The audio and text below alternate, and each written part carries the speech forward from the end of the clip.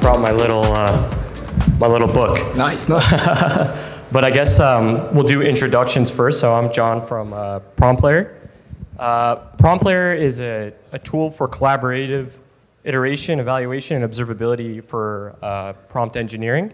And uh, Rogo happens to be one of our customers. So we have uh, Tomas here from there. I'll let him explain what they do there, and then we'll get into the questions. Sounds great. Um, so Rogo is a financial research platform for public markets investors, investment banks, and private equity.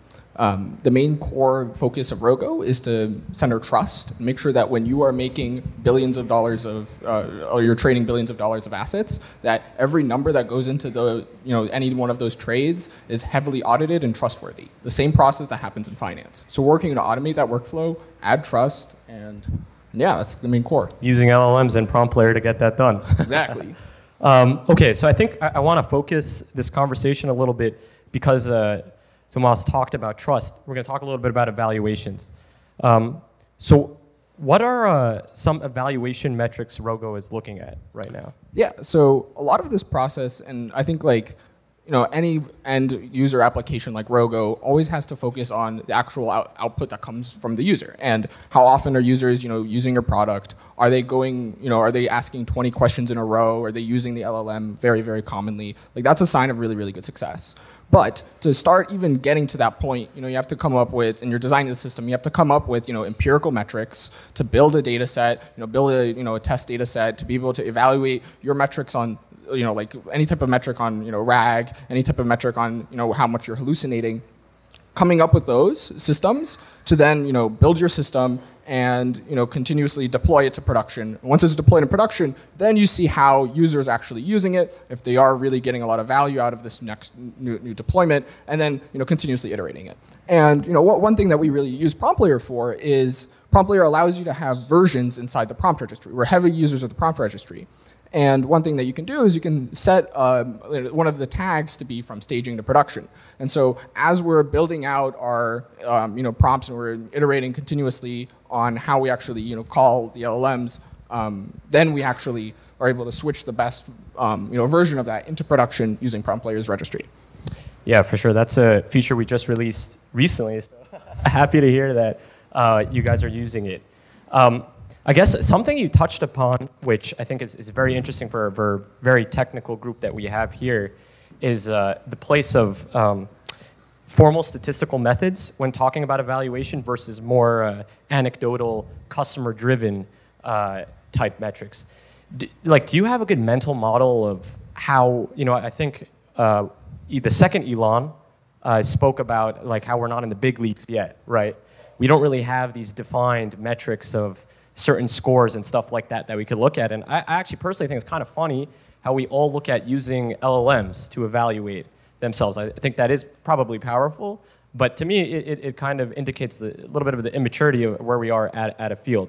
But how, how do you guys look at both, you know, these empirical versus anecdotal types of evaluation when it comes to figuring out how well your product's doing? Totally, and to be in full transparency, like um, LLMs are not great at um, evaluating all types of you know output that you've gotten out of there. So for example, in finance, like, you know, if you end up hallucinating one small number out of, you know, a, a, filing or earnings transcript or any type of internal document, and that ends up going into, you know, production, some person is making, you know, a trade and putting that into a slide deck that then goes and then ends up being completely invalidated, now they're going to lose trust. They might, you know, buy a product at a wrong multiple and, you know, they're, you know, they're, they're taking a bath, so to speak. Um, and at the same time, you know, they could be missing out on a amazing opportunity because they're just being fed incorrect information.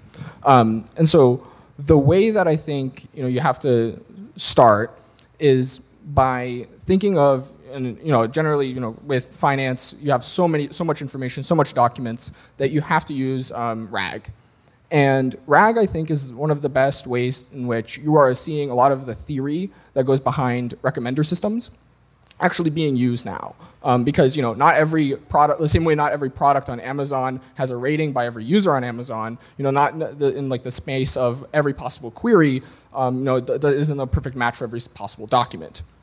And so you have this incredibly sparse world in which you are trying to, you know, find and rank the best documents inside like this, you know, this matrix of queries and documents. And you know, coming up with hypothetical documents is a really good idea. Um, Jerry has incredible um, webinars which like I've watched like three times over of just how um, you know they how to boost RAG, and you know, you have to come up, and you know, human evaluation at, at its core is like a big part. And so at Rogo, what we do is, you know, we first um, you know, iterate on our you know, RAG and uh, prompt level um, you know, layers. And as we're moving on in this iteration, we then actually do have a human evaluation step, which is, you know, I used to work in finance, so I'm decent at doing human evaluation in the same way as other people that work at Rogo um, that are ex-finance. And they're able to actually make sure and like duly check to make sure that like any one of these metrics works. As for actual empirical methods, um, you know, since you are treating RAG as a recommender system, a lot of the theory actually applies there. So looking at mean reciprocal rank um, and the, all of the you know map and um, net cumulative discounted gain, um, all of those different metrics to evaluate how rank like rank aware evaluation metrics are really really useful for RAG. Um, and once those you know once that context gets injected into the prompt, then you actually have the, a second layer of evaluating um, you know, whether this is a hallucination or not, and stuff like that. And for that, I think the best way in which we were able to actually improve performance is by using GPT functions for, um, as, a, as a classifier. But it's not just that, it's also by ensembling them. And so ensembling is, again, making five concurrent LLM calls with the exact same context and taking the majority vote of those. Not five, but maybe like 100 if you, you know, have your own um, you know, GPU cluster where you're running you know, a simple Hugging Face model on it. Um, and that really, really helps because now you're doing, and you're taking a majority vote of like the possible um, like classification, and that way you're able to raise it as, as soon as you're able to raise the temperature and you're able to like see the actual you know classical evaluation metrics of you know the um, of the uh, you know, classification system you just built with ensembling, that's how you're able to really get really, really good performance. And then you're able to push that into production. That, that's uh, fairly interesting and, and, fairly sophisticated. I actually didn't know you guys were, were going that complicated. When, when you're looking at this, just to like double click on that, do you guys uh, look at it like as a black box and like have some form of binary yes or no or score that you're like this request slash response pair performed you know, 85 on the scale? Are you guys not really at that stage or splitting it up into different pieces and looking at it that way? Yeah, I mean, I think we we do measure it um, at a level, at a layer level. I'm not sure we do it at the exact granularity as Arize and their spans do. Um, but we, we definitely, um, you know, are, are, going toward that direction.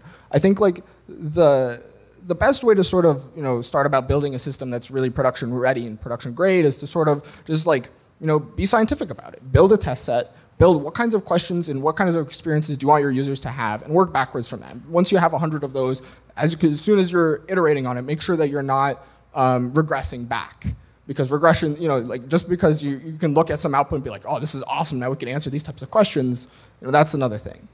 One metric I really, really like is um, out of like once you have user data and once you actually have people really really using your product is getting and encouraging users to like continuously make LLM calls and really really interact with your product and interact with you know um, you know the cool thing that is generative AI and my favorite metric for that is to take the average queries per session and see how many times a user is in like the 90th, 95th percentile of those. And once you're at that point, once you're seeing that they're like really, really like you're encouraging these binges where they're just continuously calling, um, you know, Rogo in our case, but continuously calling, um, you know, your production, uh, you know, system. That's when you're really, really know you're good. I have a like random question about that. How do you know that if they're like asking questions over and over again that that's a positive signal and not a negative signal that they're like pissed off? Oh no, you're no, you're right. It could be that, but it's the fact that like if they're pissed off, they'll go to Google and they'll go somewhere else, right? Like that's right.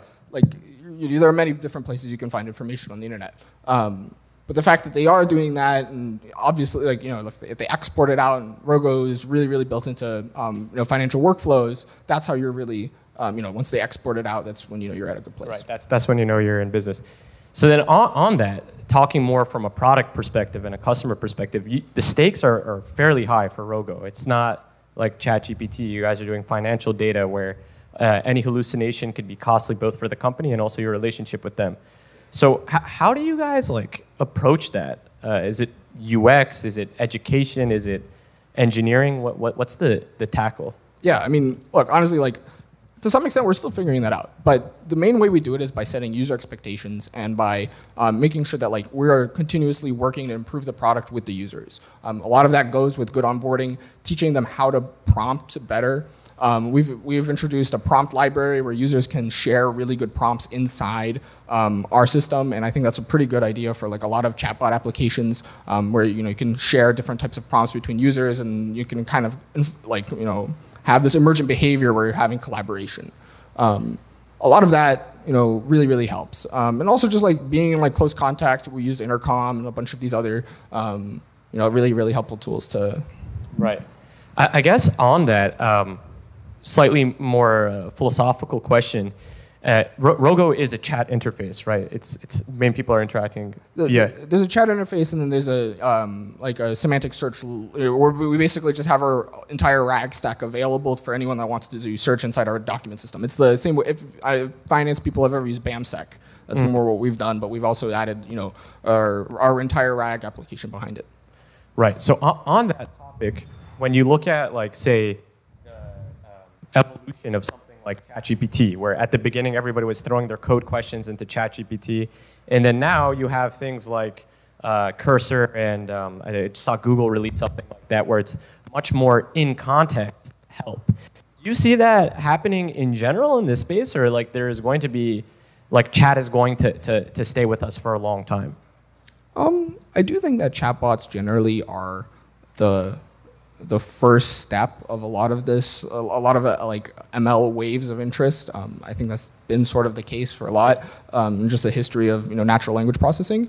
But um, you know, I do think that a lot of chat applications are really cool. Um, like I use ChatGPT every day, um, and it's just a really really helpful workflow tool you can use. Um, I do think that you're right, and a lot of like, being able to orchestrate different types of uses of LLMs to create really intelligent results and how that gets synthesized back to the user as a streamed you know, response is going to be it's going to change a lot over time. And I'm actually curious to hear your answer to that question and PromptLayer customers. Yeah, I think for us, we see uh, with the bigger customers that we have coming through our door, they already have a product, a functionality, and, and they want to use uh, LLMs there. So some of them will come and try to go with chat, but that might be a little bit overwhelming. Uh, UX is a little bit complicated. What are you exactly going to chat with? Um, so we see those companies are building small features in their product that use LMs. The more the younger generation, the new people that are coming in, they're definitely much more like chat focused, as that's like a very easy way to go in. Um, I, I, guess wh while we're here, uh, I'll ask you one question about uh, Rogo and, and, our relationship with PromptLayer. How are you guys using PromptLayer uh, to kind of work as a team? Yeah, so I think like well, the one thing that, and I think you, I'd love to hear you talk more about this too, is that I don't think prompts are necessarily code. Um, a lot of things that you could do with prompts, and a lot of the ways that you really get iterate on working with prompts are just um, you know publishing the latest version of it and then quickly testing and running a lot of evaluations in parallel just to make sure that like you know you're generally right and then quickly like iterating and you know not making sure that you're not regressing and moving forward and you know getting there. Um, and so like that's one, that's the biggest way in which we use PromptLayer is being able to measure versions from the registry, making, being able to encourage collaboration with our, within our organization um, around prompting. Because a lot of people can do prompting, um, but it takes a while for them to really get on, like, re really get a good sense of what's doing well. Um, the other really, really nice use case that we use with PromptLayer is being able to measure our OpenAI costs and OpenAI latency. But all of that is very, very nice to, to measure as well.